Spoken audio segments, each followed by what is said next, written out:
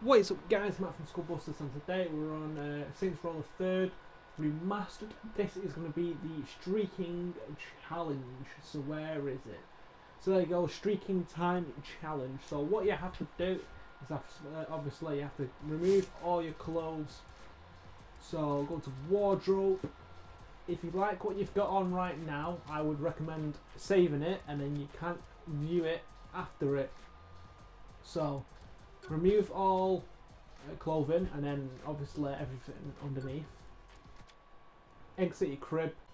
Then what you need to do this is not classed as streaking even though it is. What you have to do you have to activate the actual streaking.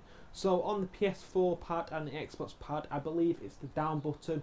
On pc i don't know what it is but you activate it and as you can see it should come up with this button. And then all you have to do is uh, shock a lot of people running like this so each second goes by will count uh, will count towards the challenge. So you have to do this multiple times. I think you have to do it about five times or even three times depending how long it's going to take you.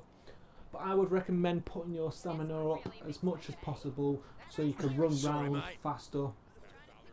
And I would avoid the police and gang members because you will get shot. And as you see, I've got a police badge right now because he's seen me uh, streaking.